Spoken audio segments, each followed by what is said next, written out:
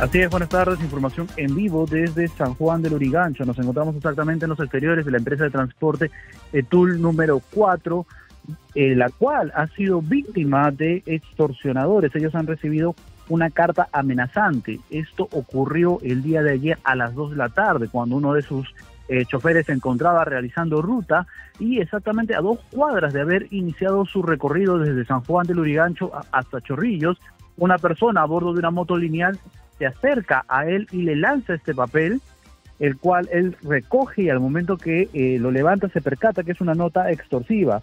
Estos sujetos les están pidiendo a esta empresa el pago de un cupo de 50 eh, mil soles y además de ello señalan que van a tener que realizar a partir de ahora un pago mensual.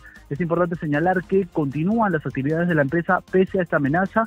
Según nos indican eh, algunos trabajadores de la empresa, quienes tienen bastante temor de esta situación, eh, efectivos de la policía ya se apersonaron el día de ayer y ellos están intentando continuar con sus actividades con normalidad. Es información que tenemos en vivo para Exitosa 95.5 del FM, la voz que integra el Perú.